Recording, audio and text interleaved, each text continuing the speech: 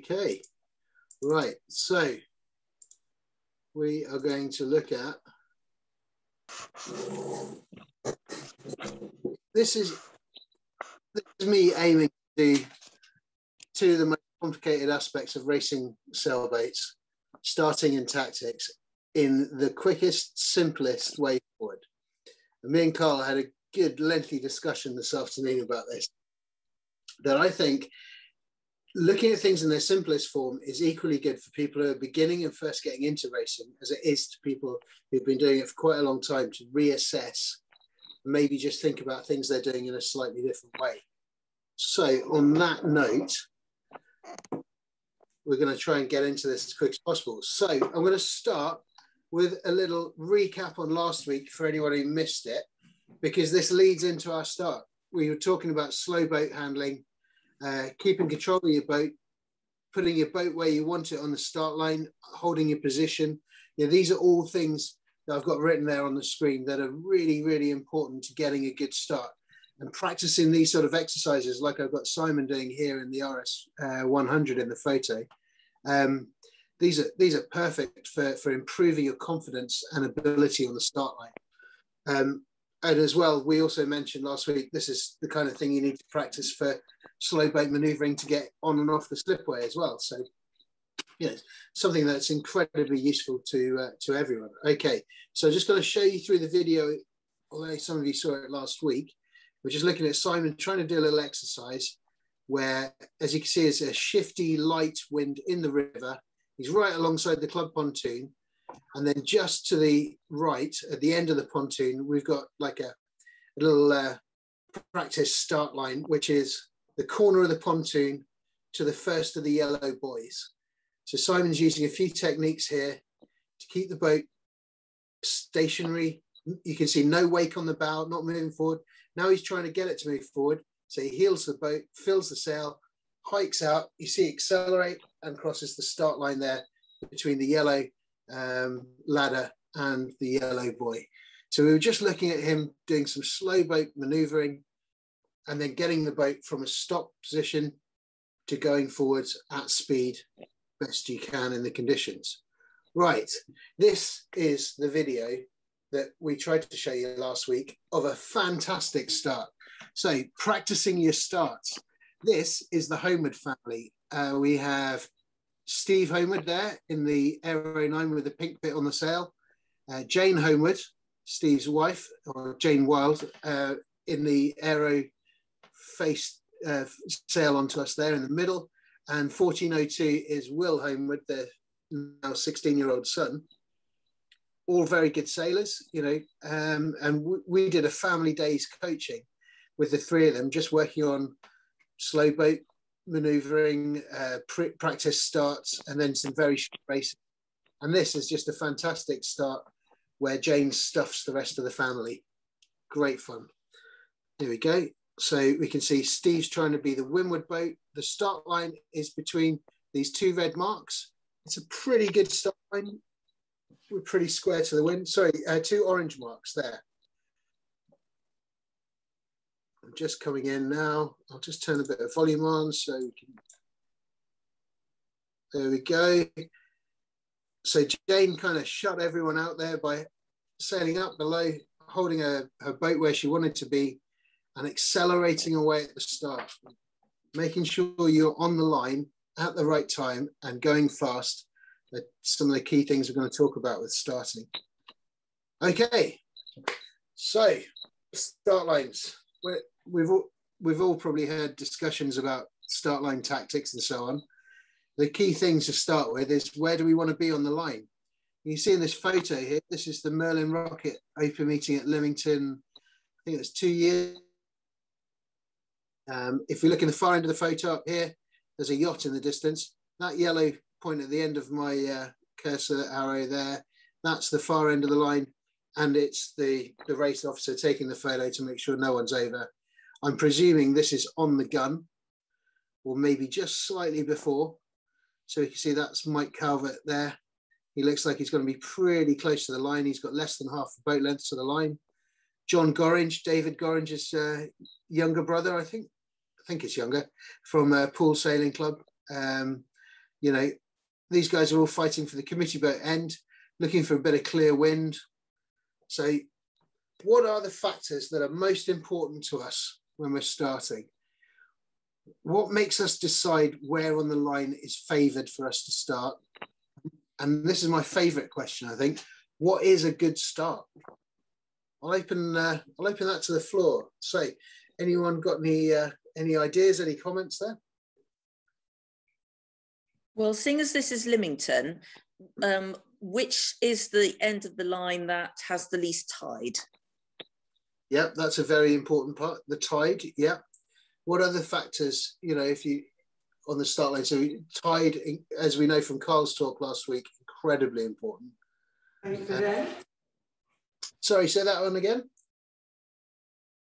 The, the favoured end, yeah. The angle of the line so that it's not, sorry, a, a, fair line, a straight line is perpendicular to the uh, direction of the wind.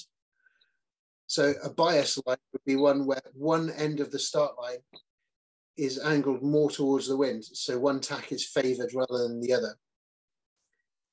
Usually okay. port. Oh, I didn't catch that one.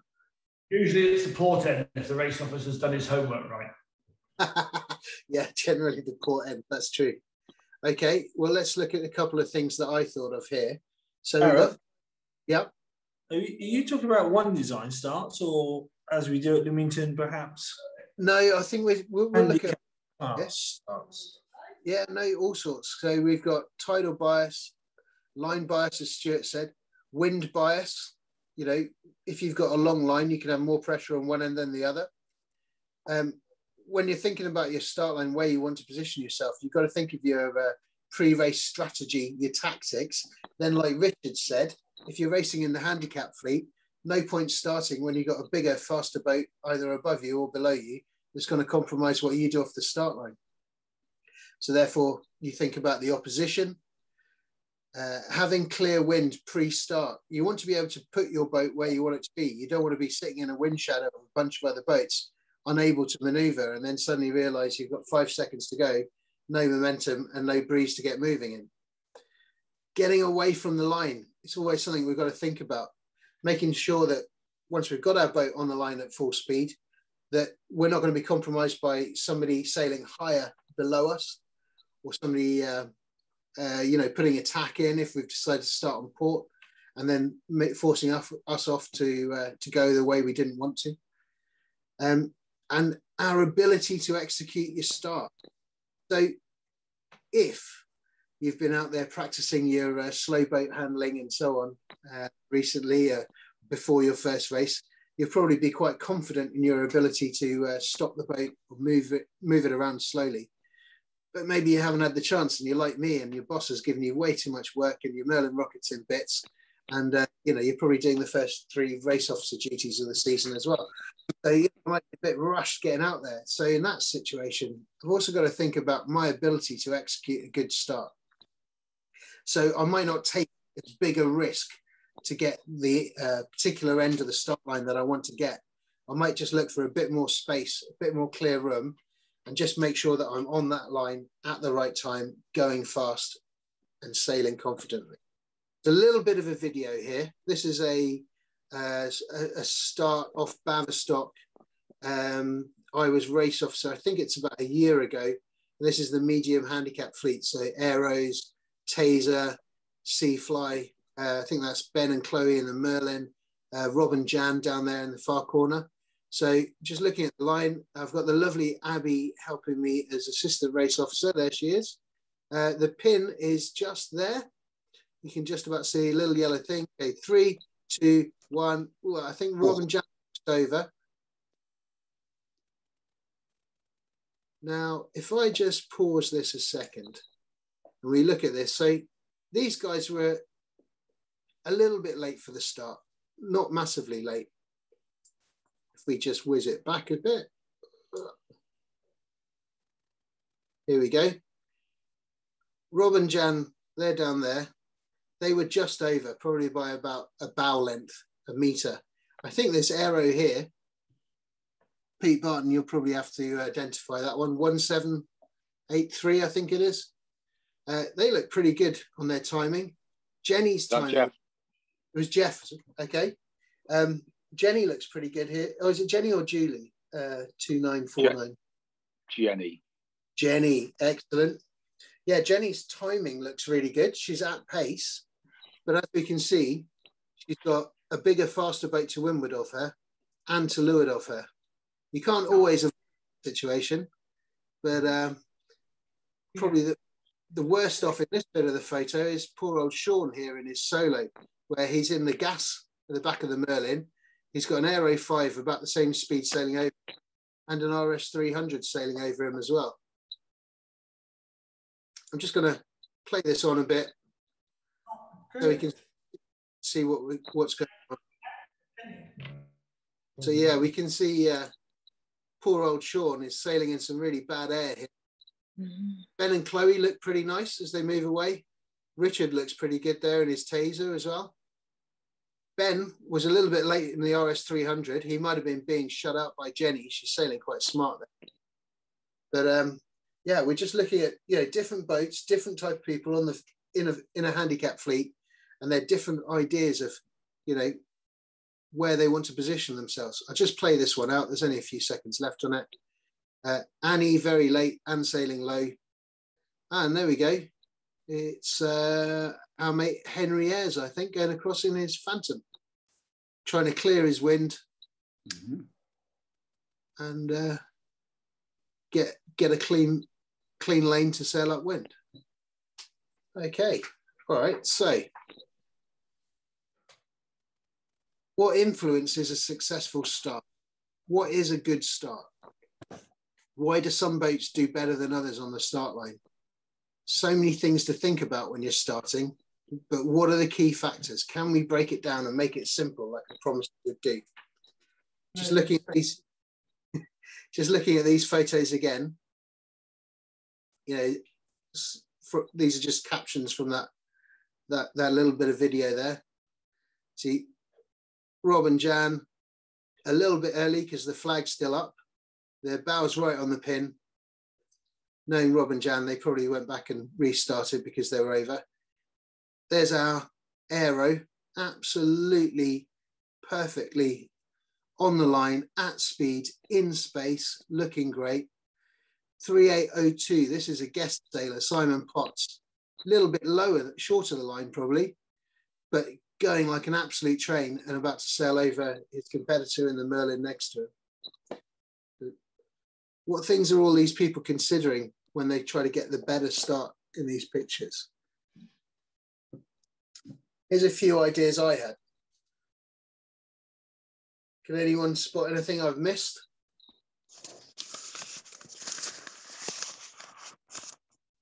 Flip back to the picture a minute, Gareth. Sure. I think the way everybody held on on that start out to the left is the tide's under. So I Yeah. think there's a bit of line sag because everyone's just holding back ever so slightly. And that's Yeah. a consideration. Yeah, yeah, definitely. want to go in, don't you? No, that one. Sounds a big- Is it Evan? Sorry, Stuart, it's quite hard to hear you there. Okay, we're just saying tides ebbing, so everybody's going with it. Yeah, that's it. Do you want to bring your sofa nearer the camera? Yeah, well, the, the tide's very obviously ebbing because the ferry's punching up tide, isn't it? You can see in the background. yeah, yeah. Oh, nice one, Sherlock. Well spotted. Good spot Yeah. that. okay. Carlo- So Sorry. Karl tells us having a plan. having a plan. Yeah, I've missed that off the list. Having a plan, working out what we want to do once we leave the uh, the uh, the start line and the start area. You know, uh, this this these photos, this this little bit of video we watched, that was going out towards the southwest. Um, you've got tide under the boats, so it's probably quite a, a fair tidal course. Um, you know, we're at the far side of Bavistock, the uh, the southern side of Bavistock. So we're probably looking at a race where um, where the tide would be pushing you upwind. So in that case, there's probably not much of a benefit from being one end of the line to the other end of the line with the amount of tide. The pin end might be slightly more tidally favoured, not not massively. what we were looking for on this race was probably more about tacking on shifts and sailing in clear air. So these were a few things I thought of that influence a successful start. So getting the right end of the line, my tactics for the first leg, timing, starting at speed, having clear wind to sail in, getting away from the line, and ability to execute must start. So start, starting at speed. Rich, why would you say starting at speed is preferable to just being on the line at the right time? Uh, for a skiff or for just generally? Just generally. Well, starting at speed, it gives you flow over the foils, it gives you maneuverability, which is always nice, particularly you know, if you're on a timed run. Uh, and being on the line, you've got to be absolutely nailed on. So in that last image where you're being flooded over, you, you can't burn off speed if you don't have any. Um, so there's a couple of reasons why I go to speed. Yeah, that's all pretty good. You see in this photo here, there's a, a lard ass there in, uh, in a Lilac Merlin rocket at Salcombe Week with Ollie Turner just below him and um, HD Sails uh, Taxi just below there. Uh, this is probably the best start I've ever had in a Merlin rocket.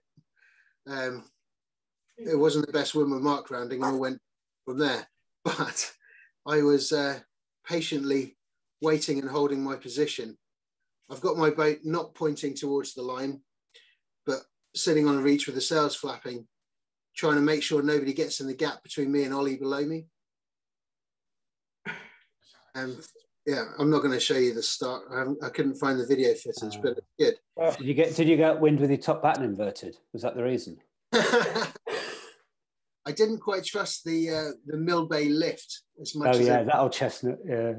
I was getting. I thought they were coming up on me, and so I tacked off too early. But um, yeah, lesson learned. Right, look. Here's a, here's a little start line.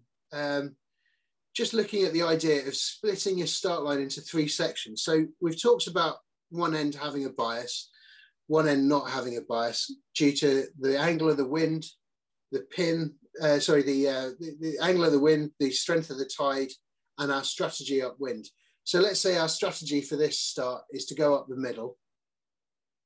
Can somebody maybe tell me which end of which third of the line their preference? The right end by the committee boat, the middle, or the left end by the blue flag? Um, Claire Slay, why don't you give us an answer, Claire? I did you know I cannot I never tell which end of the line is favoured. So uh, I'm probably 180 degrees or, but I think the pin end is the favoured end. Okay.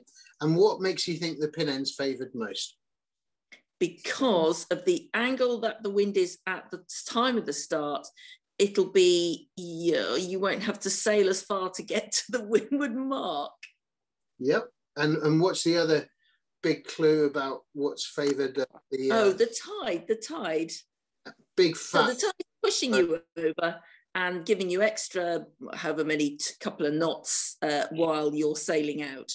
Yeah. And you can also sail out and out and out and and keep as, as long as you need to, almost to the lay line to before you turn in again for the windward mark. Yep, that's good. That's good. Yeah, I, I, would agree. Now I'm going to throw in another mitigation here. So I'm just going to see who else I've got on the participant. Gareth, can I just uh, make a point? Yes, please, Malcolm. Yeah, go for it. So in your diagram there, if the tide was equal all the way across, yeah, then the um, committee boat end would be the favoured end for just the wind. That's correct. Yeah. yeah.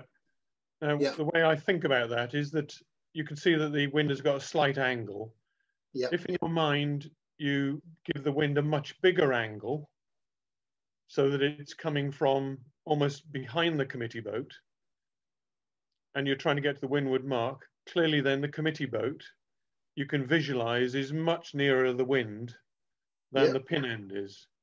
Yeah. So when so, I'm trying to decide which end is the favored end, mentally I sort of think, well, which end is the wind broadly coming from? So in this one, it's slightly towards the committee boat.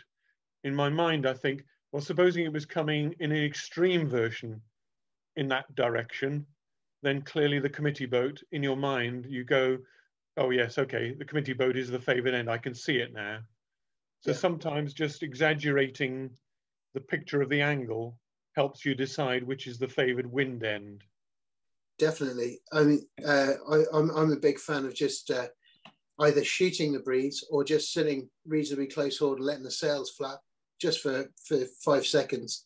And in general, whichever end of the line the sail's pointing to is going to be your favorite end. Um, so yeah, no, that was a good call. So if the tide was even, committee vote would be biased because the wind's coming a little bit more from the right. So uh, so you'd be sailing higher and a shorter distance on on starboard tack. Um, yeah, no, that's good. Now I just want to throw another thing in here, Malcolm. This would be a great one for you. So let's say this is the scenario. We've got more tide at our pin end. We've got a slight uh, the slight bias with the wind. Um, now let's just throw in, like with the start line we watched the video of just now, a couple of Merlin rockets down here and uh, a couple up there and a few s- arrows and, and a tasar dotted around like a medium handicap fleet. If you throw in that, that those sort of boats, where do you think you'd start them? Yes. You don't, um, you wouldn't want to be underneath the Merlins, you'd want to be above them. Yeah. So I'd probably be in, in the, the, the middle section towards the pin end half of it. Yeah. What about it? Because I'm probably going to go, I'm probably going to want to go left because if this is Lymington, there'll be even more tide the further left you go. Correct. Um, so I'm going to want to carry on going left. So I might as well start towards the left. Yeah.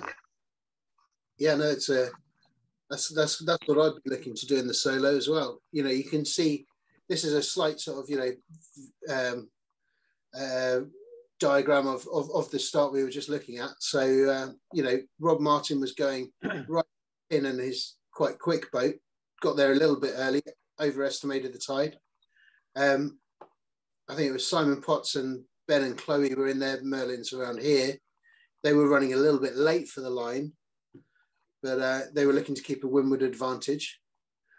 Richard Russell was probably, and, and that Aero were somewhere around where Malcolm's saying, looking to stay away from boats side, keep their wind clear, and get going fast. Gareth, Yeah, Gareth, can I ask a question? So here I am in my laser radial, so I'm quite slow, um, Yeah. and I know I'm looking for clear air, but why? But I also know that the tide is, and I want to be towards the pin end. Why can't I be close to the Merlin rockets, knowing the Merlin rockets are going to be whizzing away from me as quick as you like? Yeah, no, it's a really good point. You know, you'd hmm. suffer the dirt of a Merlin rocket for maybe what a minute, or or, or the tasar, Richard Russell. You know, he's a, he's always an interesting one on our start lines in the medium handicap. He points incredibly high, so if he's below you, he's going to force you to attack if he wants to, because he'll just keep stiffing up, up, up, up, up, dragging you over. Um, so yeah, you know, in in a, in a laser radial compared with something like a Merlin or a Tasar, which are very fast in comparison, uh, or a Phantom, you probably wouldn't have much trouble around those boats. Maybe you'd have more in the radial if you were near the Solos or Yeah.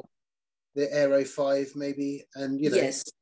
So similar then, then I, I kind of want to keep away from boats that are very similar um, speed to, to me. But Yeah. okay, yeah, thank you. like likewise in the fast fleet where you've got Richard in his RS 700 and if if he's got Yeah. you know Mike below him in a contender I think a contender can probably point you quite considerably can't it Um, I think for, for me, it's the same situation, but with four RS 400s. Yeah. Um, and although maybe the speed differential between myself and Claire might be not the same thing, sitting below that boat, it's going to hold you there, either making you tack off or, or getting stuck, Claire might consider the port approach, take a couple of transoms, and as Henry did in that last bit of video footage, get out to the right, get into clear air, and flick over early. Yeah. And hold the right. Yeah. Yeah, it's good. All right, I'm just going to move on to another scenario. Here we go. This is another typical Lymington uh, Sunday morning race. This time we've got the, the wind in green, slightly off perpendicular, and we've got strong tide again at the pin end, weaker tide at the committee boat end, but the tide's in the same direction as the wind. So I'm just going to go through the uh, random scores here, and I'm going to see um, Paul, Paul Champion. Would you would you like to give us an idea of what you think about this start line? Where would you see the the best end to start for yourself? Hmm. Um, I think maybe towards the committee boat end of things, just because of the fact that I've got a I've got a lesser tide. Um, wind is the same wherever I am on the line. Um, um, so I would I would say to well, as I'm speaking, sorry, as I'm speaking, I'm thinking maybe a central position. Um, and then with a central position, knowing that the wind is, uh, I'm, I'm essentially, uh, the wind's coming straight in, in front of me. I, I, then, I then got options. I, I feel like I, might have more options ahead of me uh, in terms of being able to choose my, um, choose my tack. But um, yeah, I think my gut goes with the committee committee boat end. Okay, cool. Who else have we got on here? Let's have a look. Um, Simon Gaiman. Great one. All right, Simon, uh, Aero 7, isn't it? So, yeah, what do you think, Simon?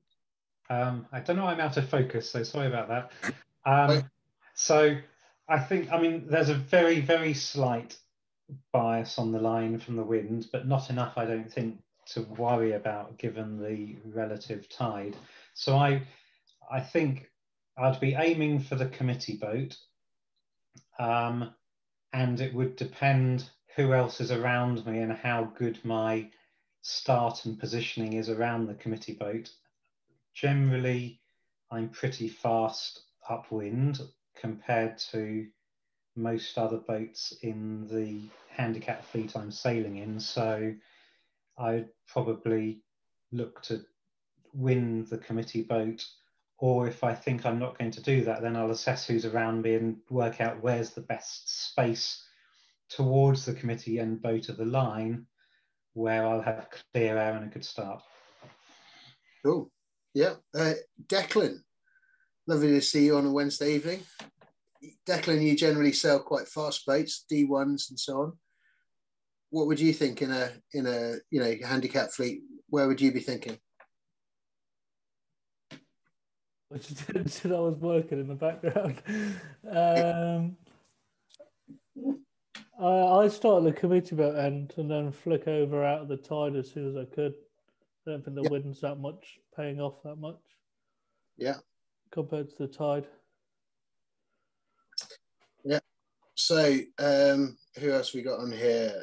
Nick Ingram. And and we got Stuart Watson. We got two two of the ultimate folk boat sailors in the club.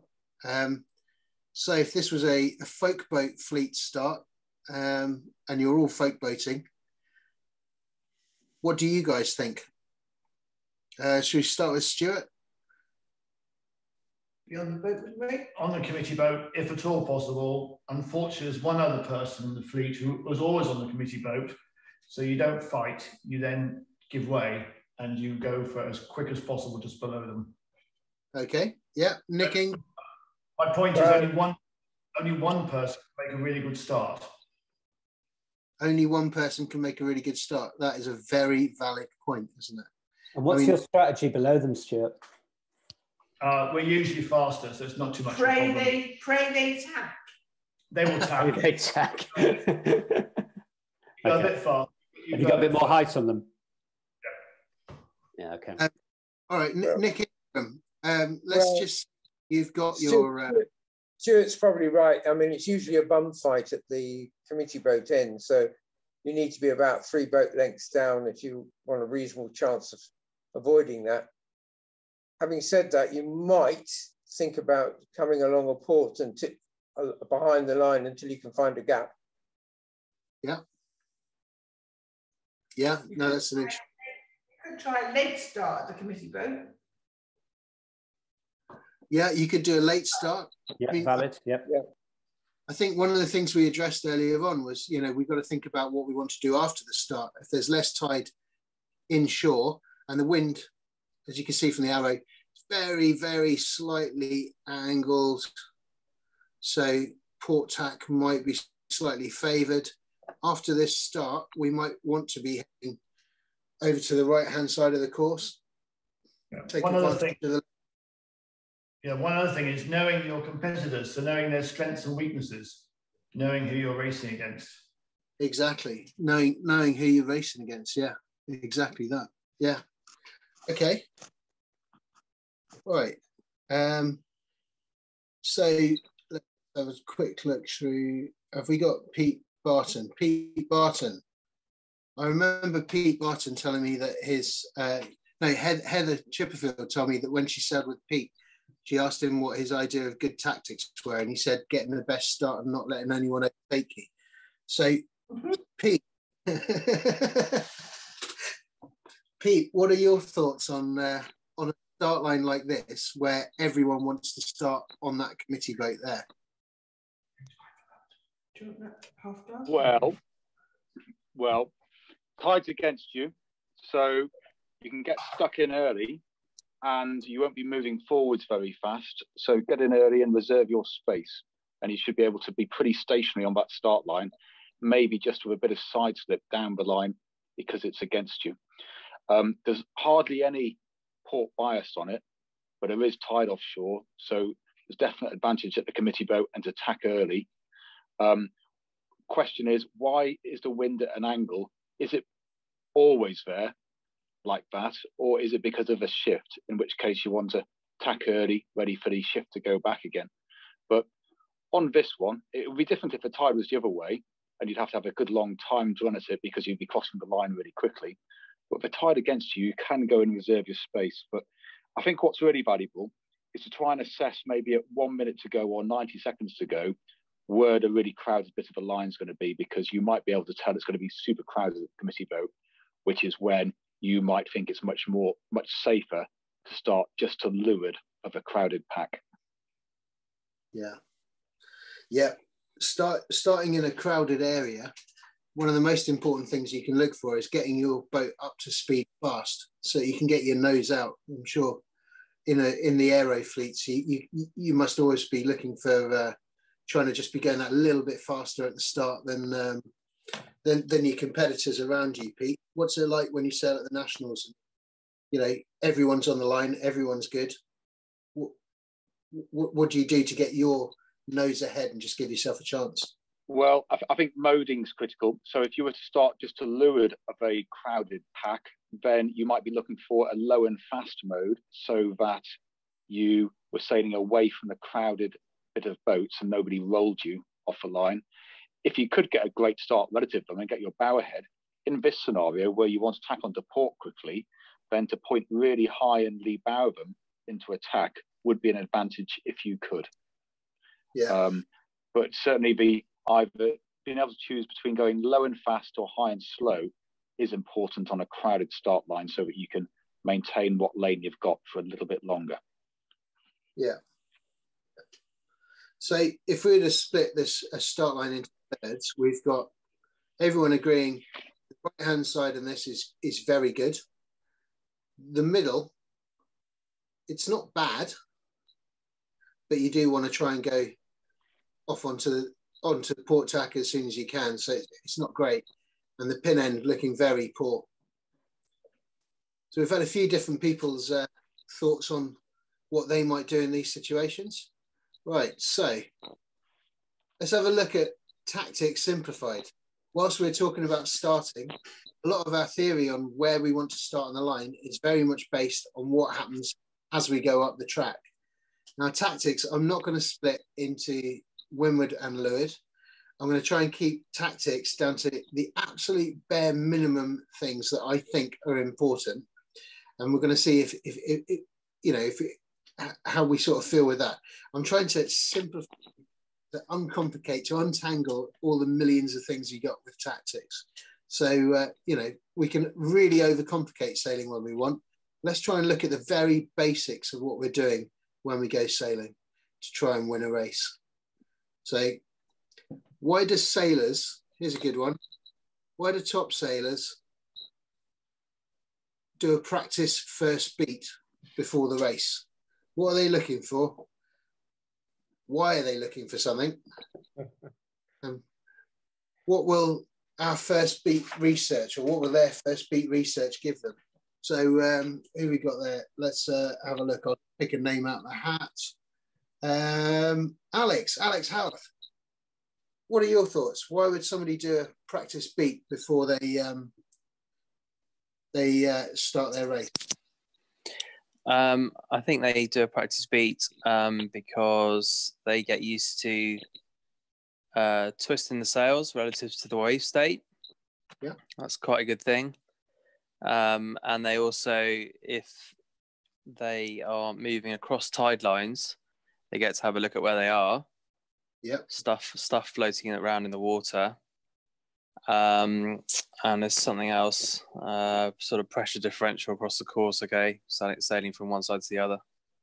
Yeah, yeah, that's th- those are some really good points there, Alex. Nice work. Um, all right, so uh, let's uh, grab Malcolm Buchanan.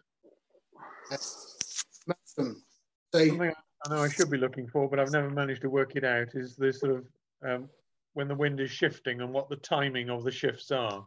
Yeah, I mean, I was say, what? Why are we looking for these things? You know, what? What's the reason you're looking to to try and find these things before the race has started? Um, so well, so that you you've got an understanding as to whether the wind is moving around or whether it's constant. Therefore, yeah. whether you're going to be tacking on shifts or just going hard left or right, depending on yeah. where the tide is. Um,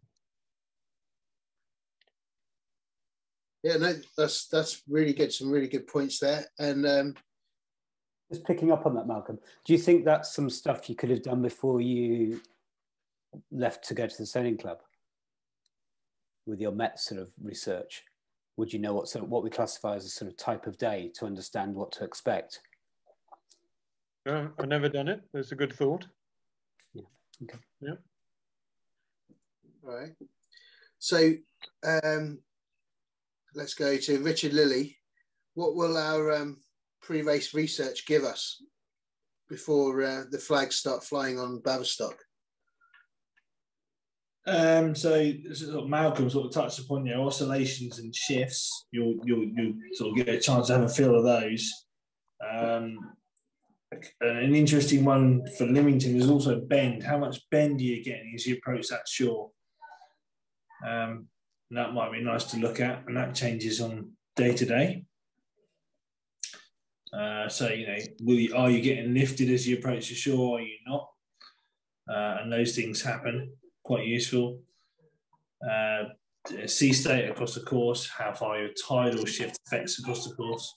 There's a there's a lot to learn going up there. Okay, yeah. Um, yeah top sailors have practice beat. So we discussed wind shifts, where the pressure is, um, also the bend. I like bend. the research. yeah, spell check. yeah, sorry, I um, dyslexic PC. Um, it's the Greek spelling. Exactly. Yeah. tidal effect. And uh, another little one. I mean, Alex actually, uh, when we asked him at the start there, he came in with a great one. You know, you can check your sail settings when we do that. I mean, we, we discussed uh, sort of sail uh, the other week, so I didn't want to sort of like, you know, chuck too much in here. But yeah, you can check your settings. But uh, also another thing to look for, maybe lay line transits. You know, if you know that you know percent or y or whatever it is looks like it's probably going to be your favorite choice for a, uh, a windward mark uh, that day. You can also sail up to that mark if you've got time and just kind of work out when you're going to be on the lay line because, um, you know, with the tide that's going and running at that time, if the wind's not too shifty, you know, you can probably find a decent idea of where you're going to need to tack to get into that windward mark so you don't over or undershoot and have to either reach down to the windward mark or or try and uh, chuck a few extra tacks in to get there at the last minute. Right, so we're trying to form a strategy based on our research. I think one other one that's maybe Lymington specific is the wave state across the course as well, particularly in slower in slower boats. Yeah. Um, you can if you go out, it gets can get really rough. So although you're getting an advantage of more tide, it's so rough that you're actually better off being a little bit more inshore, a little bit less tide, but the water's smoother. Yeah, that's that's well reported in the fast boats too. Right. Particularly downwind. Yeah. That's yeah, that's a really good point. Um, yeah, if you've got wind against tide, you know, nice southwesterly on an outgoing tide and ebbing tide, um, yeah. yeah, waves are going to jack up short and sharp when you get offshore in the slightly deeper water. So yeah, trying to uh, sail in flat water with good pressure, the boat will go quicker. So simple tactics. What are we looking for? What information do we need? What can we do to make our boat go fast? All right, I am going to grab, um, I'm going to go, I'll go to Mr. Bunce, our lovely dinghy park manager. Like simple. what are we looking for, Chris? Uh, more wind. So More wind. uh, I know I would be looking for which side of the course might have more wind. Um, Yeah. I'd be trying to stay out of the way of people, to be honest, as well. um, and I would be looking at the fleets that have gone ahead and which ones appear to have done better than others to try and uh, basically see which side is, is best. Yeah, yeah, yeah. That's good. Yeah, yeah. That's some really good. Uh, who else we got to grab? Uh, Joe, the lovely Miss Barrable. So, what information are you looking for when you're uh, when you're planning your tactics for for the for, for the first leg? Uh, well, I'll be looking what who's around me. Yeah. Uh, and also be thinking about trying to keep my boat flat. Flat boat is a fast boat. Yeah. Um, I'll be trying to check where Richard Russell is because it's always a good clue, and try and find. um, Yeah, yeah, and generally just trying to look for something potentially either on the land if I can look close enough to the land to see, you know, wind direction, looking at um, where possible gusts might be coming in as well. Um, and generally steering clear of everybody else. Yeah. That'd be, that'd be my tactic and staying upright. yeah, and staying upright is definitely a very good one. All right, well, let's just like a simple tax. Can I just come in? Yeah, please do.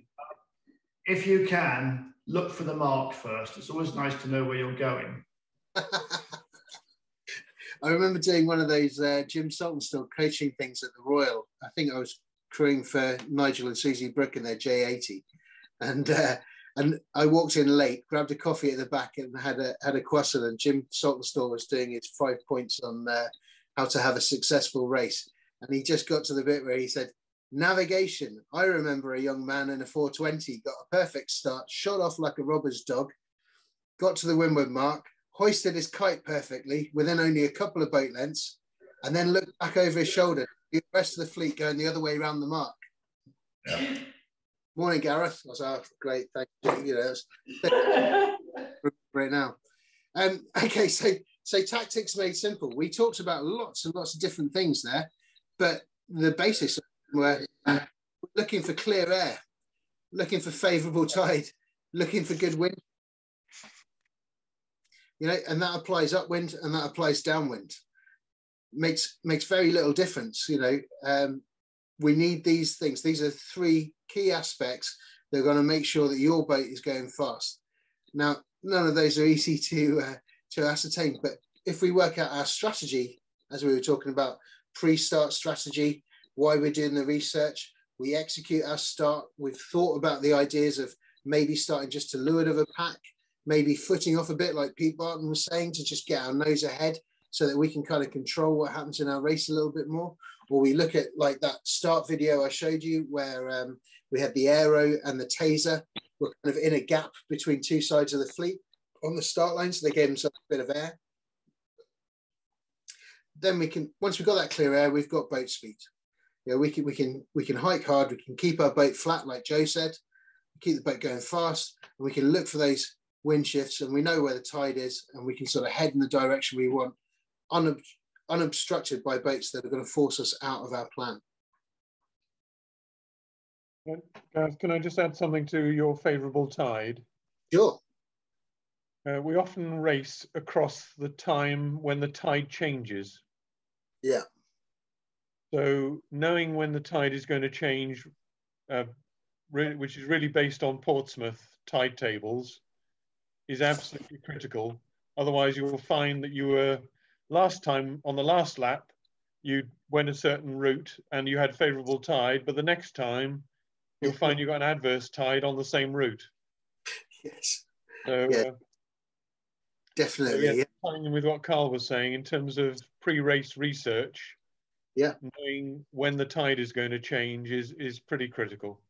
Yeah. Can I jump, can I jump in there? Sorry, brilliant, Malcolm. It- and something I forgot to mention last week in the Tides talk was keeping you. I, I, I mentioned about looking at the marks and the lobster pot and everything else that are in the water, but checking that all the time as you come past the mark. Quick glance down if you've got time to check where the tide is at the moment, especially if you're expecting the change. Then the other thing is um, pre-start going out and checking that and just validating that it's doing what you expect. I, I forgot to say that last week is was validating all the time. Okay. Yeah. So it's all very well just looking at the book and saying it's going to do this an hour and a quarter before and forgetting about it. You need to be validating like we do with the weather. But Malcolm's point is brilliant. It does turn mid race and it will make a difference on lap two than it did to lap one. Yeah. Change your Huge. Thank you. Yeah, I, I quite often do do my pre-race research. You know, the day before. Um, I don't like to do it in the morning and rush myself before a race. I like to have a leisurely morning. So I check the tides, what it's going to be, when there might be a change, and if if there's going to be a change mid-race, or or if I'm out for the two races, I often set the uh, alarm maybe sort of five ten minutes before I think the tide's going to start taking effect, and then I've got a kind of a preempt ready to start really concentrating on finding those tidal differences or taking advantage of the slack water, and then hopefully taking advantage of the uh, the good tide when it when I've got my alarm going off and nobody else has noticed, and uh, and I can execute my tactical plan cunningly. So that is simple tactic there, and then we move forward to looking at a few other little things here. So evaluating your progress. So we've talked a lot about pre-race, pre-start strategies, doing a bit of research. Once we're in the race, evaluate how it all went. You know, did we get that start just to leeward of five boats by the committee boat going into the tide, like in that last sort of uh, little illustration I gave you? It, did we get there, or did six boats come up and sort of rob us, and we end up having to reach down? Was I a little bit late, and therefore I had to bear off a bit, and I, I started a bit more three quarters of the way to the pin end? You know, how did my start go? Did it actually work though even you know whether it was a good start or a bad start? Am i in a good position? You know can i look around me and say i've got clean air. I'm going in the right direction. I'm going where i want to go or i'm not going. What do i do? You know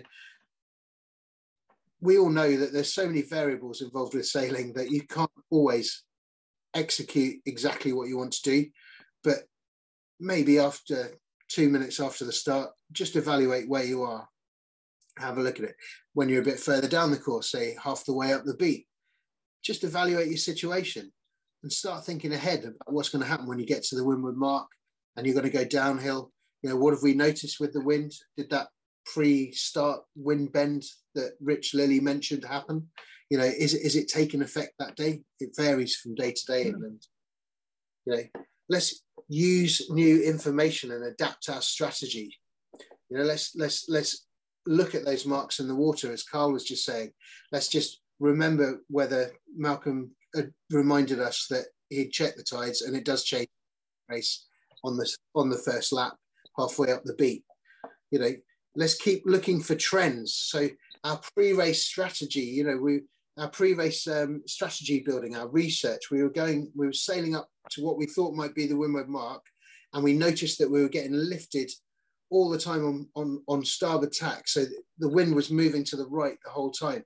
And that kind of clicks in with what Karl and you had chatted about in the bar the night before about what the wind was going to do the next day. And you're doing your, your, your weather planner and so on.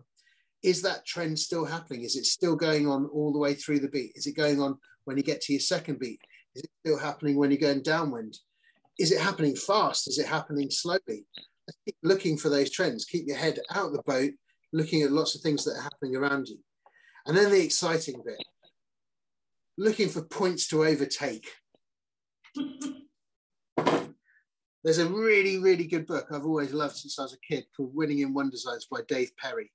And uh, the first chapter or two are all about getting a good start. And then the third chapter, I think it is, starts with okay, you've cocked up your start. Here's how you try and overtake boats. And he comes through millions of different stories on what you can do port, starboard, rounding marks, windward, leeward, all sorts of different things. But there's some really basic rules for overtaking people. And, and, and what you're trying to look for is, again, going back to a very simple keeping clean air, keeping your boat speed up? Clean air, favourable tide, good wind shifts. Let's just add in boat speed for that as well, which is kind of the result of making all those sensible decisions. Uh, and looking for points to overtake. So I'm going to move on to the final slide of the simplest, briefest tactics lecture ever on Lymington Town Sailing Club Wednesday night uh, chats. What are big gains and small gains? Here are some things that I've made a list.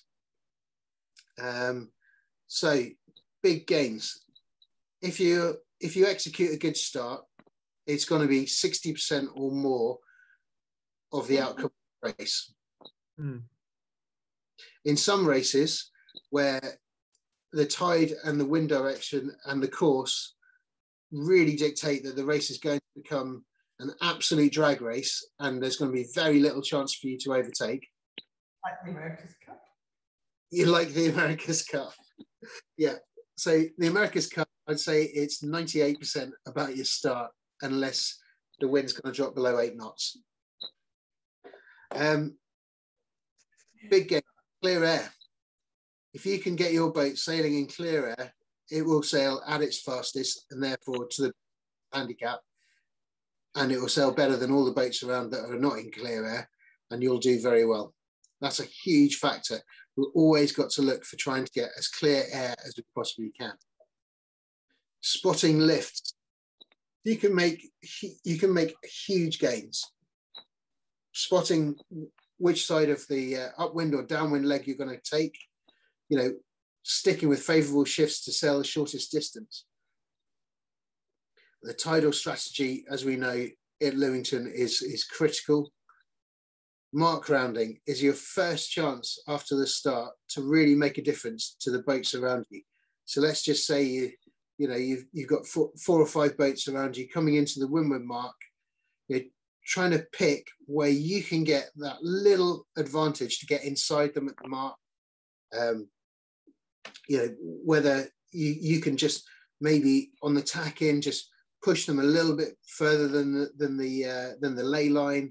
Um, you know, just, just, it's a great opportunity. Leeward mark, especially if you're doing your nationals and you've got leeward gates, you know, there, there's invariably a massive bias on leeward gates because we're probably set quite a long time before the boats have reached them. And when you're going around a leeward gate, picking the right gate can gain you massive places. I'm sure anyone who's been playing uh, virtual regatta during the lockdowns will notice, you know, if you pick the right gate in that on a windward leeward course, you can you can take half the fleet if you're lucky.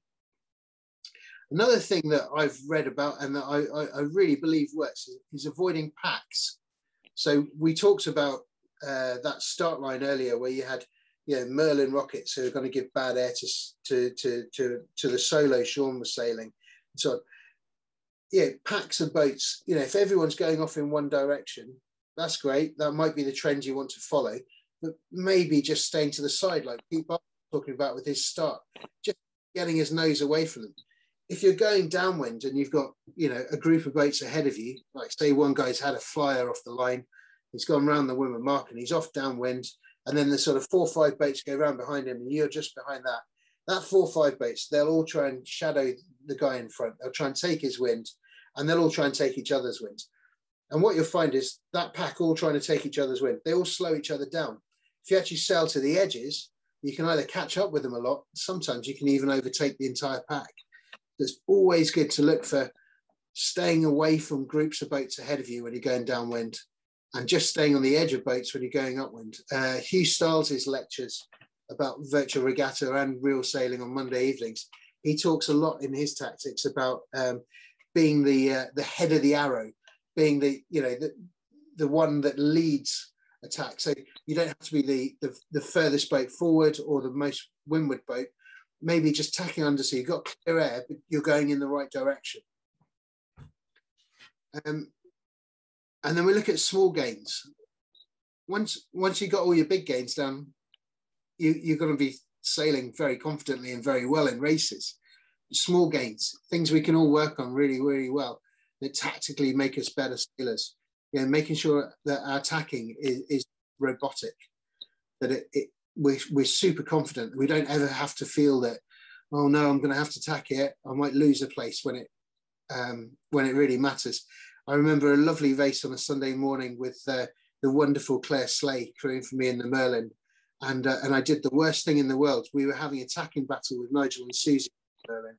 And I said to Claire, right, we're nearly there. We're just ahead of them. All we've got to do is two good tacks and we'll beat them. And me and Claire did two of the worst tacks we've ever done. It was the best thing to say. I put far too much pressure.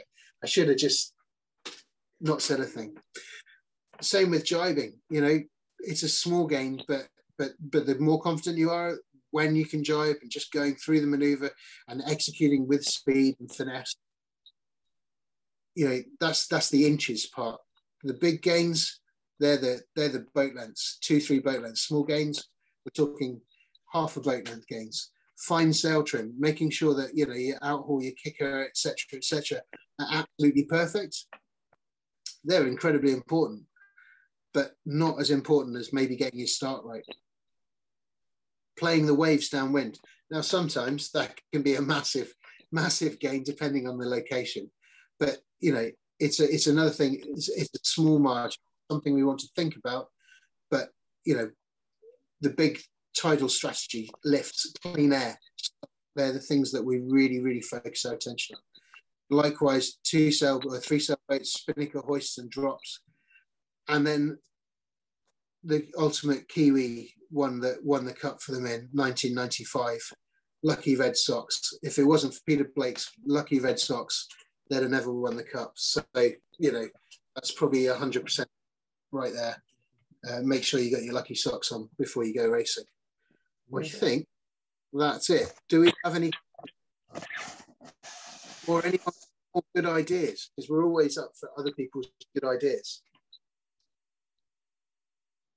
Hmm. Either everyone's on mute or they've all fallen asleep. I'm not quite sure, Karl. Gareth, I, Gareth. I, no, no, no, it's very good.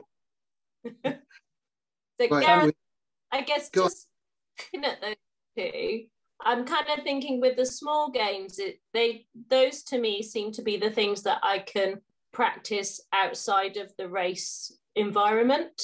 Whereas on the big games, that's actually you've got a race to practice, you know, apart from maybe the start on your own, but it's more influenced by other people around you and less out of your own individual control. Yeah. Yeah. No, your big gains is a lot about your research, you know, your, your, um, yeah, you, you, you, you, you know, you got to look at an actual event, haven't you? You've got to have a purpose there.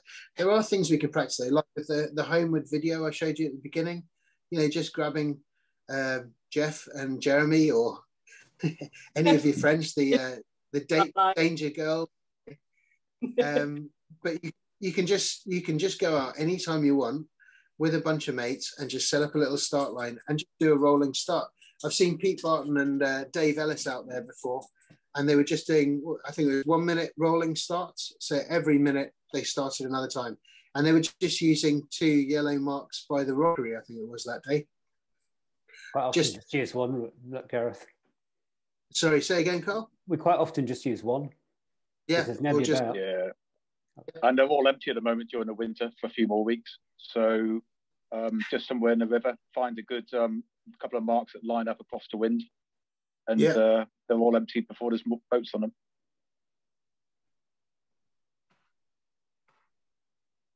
I think very frozen. Has. Very good. I think that, that I think you got the point. Yeah. Um, yeah, I mean the, the video with um, Jane and Steve and Will.